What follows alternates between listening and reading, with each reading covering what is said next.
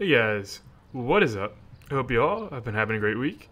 Super excited to be back with episode 15, part one of my golf vlog series. This time at the famous Firestone Country Club South Course. If you guys haven't already, please be sure to hit the like button and subscribe to the channel for more content like this in the future.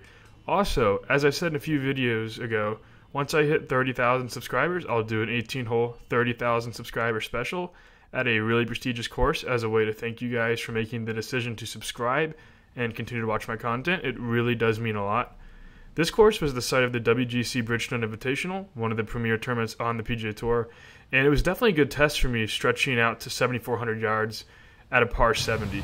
And yes, I did tip it all the way out to that yardage.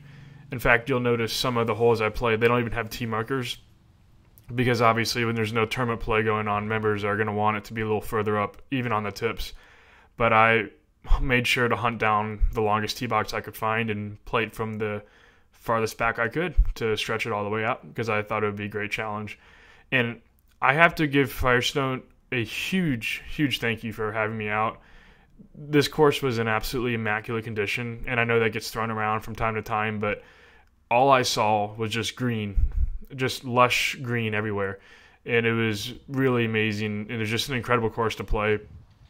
And if you missed putts, it was your fault because those putts were rolling very true. The greens were pretty quick, and it was just a joy to play the course. And I will definitely be back to play the North Course as well because it was just a ton of fun.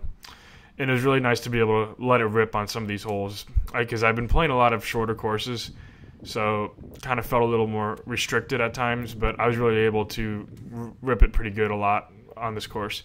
So you can see I'm in a bit of trouble here. And Check out this rope hook. I don't know if you guys can see it, but I wish I would have got a little more put put a little more club on it because I actually would have ran out to the the uh, green. I wasn't expecting to actually hook it enough to get it all the way back in line with the pin, so I took less club. But any any event, I've got about 35, 40 yards hitting my third shot up onto the screen. I actually first time playing this thought this was a par four for some reason, so I felt like I, I thought I was trying to get him down for par because I knew there were a lot of long par fours. So these kind of this was a really short par five, so they kind of ran together pretty close. So it's tough to really differentiate. But have about a 12, 15 footer for birdie. And again, I really felt very confident over the ball, especially with the putter, just because of how true these greens were rolling. And pulled it a bit, but it happens from time to time, especially when you're a long driver not a PGA Tour pro. And out in hole three, still even par, 442 yards, and just gonna take a two iron and blast it up the center and sound up. So this was pretty much a perfect shot. Nice little club twirl, 273 yards of carry.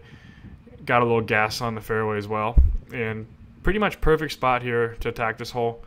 It was a little windy, but as the round went on and the wind really did subside, but I was really happy with how well I was able to handle the wind. And yeah, you guys can see. I mean, there's it looks like a perfectly manicured lawn. This fairway. So I it was really easy to clip it off the grass. And the big thing I had to really work on was managing my spin. And you'll see see the spin right there. And this landed like six or seven feet from the hole, and you can see I'm trying to get the ball to stop and hand signals don't work, by the way. At least they don't work for me. You can see where it landed there. It literally landed about four feet away, and it spun back, may, maybe like 25, 20 feet.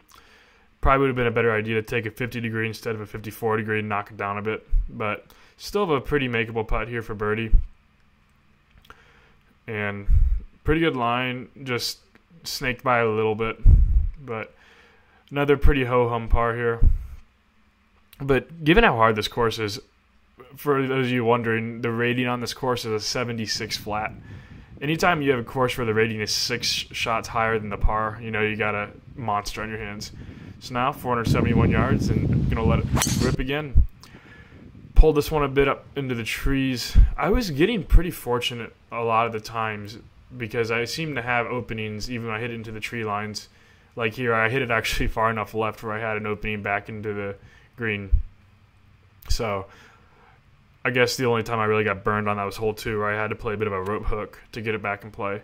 So I think I have 139 yards left here, 54 degree wedge. Once again, trying to bring it in a bit high because these greens do from time to time run a bit firm. And you'll see here it wasn't a very good decision with this shot because it looked okay at first, but then the wind started grabbing it and pulled it left. I landed pin high, but took a pretty hard kick to the left, and yeah, I had a little bit of work left to do for my up and down. So this was a lot harder of a shot than I think the camera makes it look. I think a lot of the shots when you're under the pin, ball tends to run more than you want it to. And another thing that really was tough of this course, the rough was just thick and lush, and you really could not get spin. So that was a really tough part on this course, battling the rough all day long. So now trying to save my par, and it was a little weak on it. So first drop shot of the day, unfortunately, on hole four. And again, I know I'm going to drop shots in this course. I mean, th- this course is an absolute beast. I'll never forget watching Tiger Woods. Correct me if I'm wrong, but I think it was like 20. I don't remember. It was like early two, 2010s. He was like on 59 watch for a while on this course, and I don't know how in the heck he was on 59 watch. This is a brutally hard course. So trying to bring the bring my shot in here. Just got it just over the bunker. Hit it pretty crisply, and you, you'll see how it kind of bounced pretty hard and kind of banked to the left and spun back a bit. But I, hey, from 200 yards out, I'll take that all day long. And I have a putt straight up the hill and have a really good chance to get this shot back. So just trying to be aggressive. And as I said earlier, these greens were rolling so true that I really felt comfortable putting on these greens. And yep, left it short. And there's me grimacing at the camera at you guys because I know I'm going to hear it from y'all in the comments on that one. but honestly, if it's a 200 yard par three and I walk away the three, I'm not too upset. Now in hole six, still one over, 469 yards, dead into the face here the, with the wind, you can actually see the camera shaking a bit. It was so windy, but really great drive here. Spun a little bit too much, but again, dead center of the fairway, and that's priority number one, especially on this course. And again, man, that is just such a perfect lie. And so you can see here, I'm actually have a very similar yardage. I had 135, 140 yards a lot on this course. And you can see I'm actually hitting a pitching wedge instead of a 54 degree. And I got a much better result. Flew it about maybe 15, 20 feet past the hole. And you can actually see I'm trying to get it to come back a little bit. But stayed a little bit long. But it wasn't too bad of a shot. And again, have another really good opportunity for birdie to get that shot back and this putt looked so quick from my my point of view. It really did. So I was these greens were such that I felt comfortable and confident on them, but I also felt like there really wasn't much standing between me and letting a putt get away from me if I wasn't paying attention. I, I really felt like there wasn't too much in the way of me hitting a putt six or seven feet by if I didn't pay if I didn't watch out. So another par and on a hole seven, 226 yards. I have an eight iron here.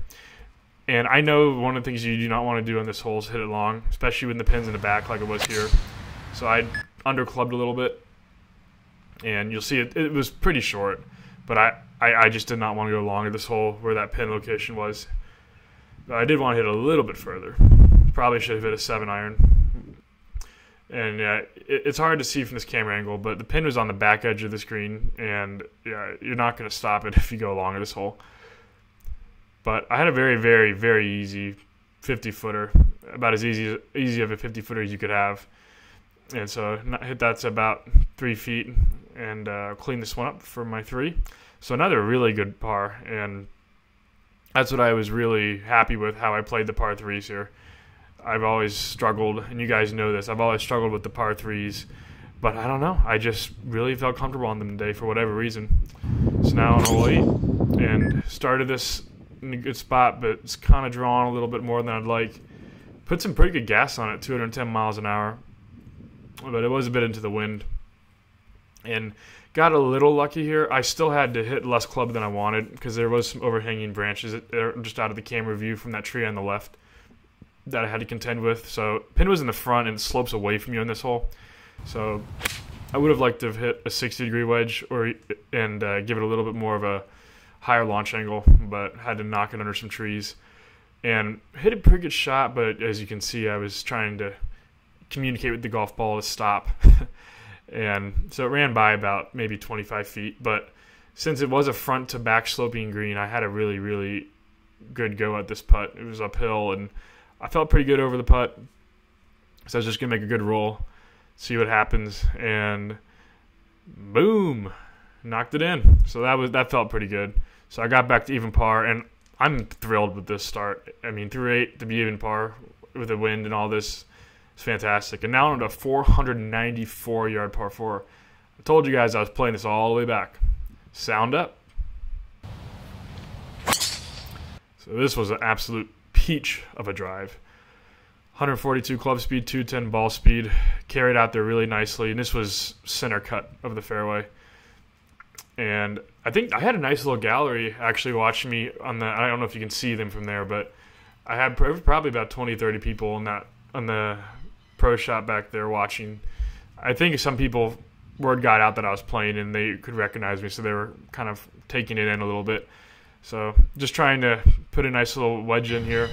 Again, really felt comfortable with my wedges all day long. And pretty good control here, just a little bit right of the pin. Took one big bounce and just stopped dead in 493 yard par four. I'm, I'll take uh, what I had left here. And I apologize for the camera angle. I think I accidentally nudged the camera when I was walking up to hit this putt. So this is to get in at a 1 under 34 but unfortunately I pulled it a little bit. So I'll tap that in to shoot even par 35 in the front. I hope you guys enjoyed the video. Please like, comment, subscribe, and I will see you guys next time for part two, the back nine. Next.